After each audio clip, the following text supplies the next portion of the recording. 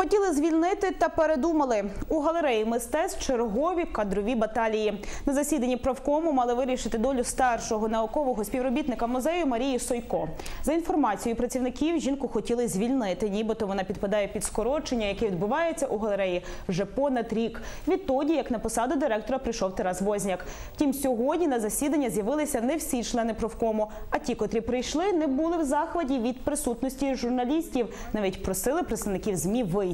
Дехто відверто нервував. Зрештою, після недовгої розмови засідання перенесли на завтра. Сама ж Марія Суйко зі скороченням категорично не погоджується і вже звернулася до суду. Тим часом голова профкому Ігор Хован, який також є головним зберігачем фондів галереї мистецтв, коментувати ситуацію відмовився. У мене зараз робочий час, будь ласка. Я Ви прокоментуйте нам, що Ні. сьогодні відбувалося.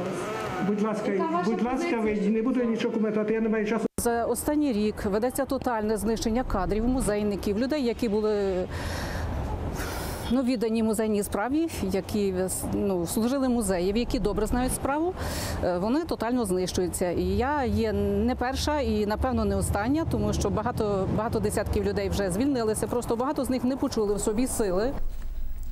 Нагадаю, з появою нового керівника галереї мистецтв Тереса Возняка з'явилося чимало непорозумінь між директором та трудовим колективом. Багато працівників потрапили під скорочення, інші звільнилися самі. Неодноразово також лунали і заяви про зниклі стародруки, документи та артефакти. Всі ці справи розслідують правоохоронці.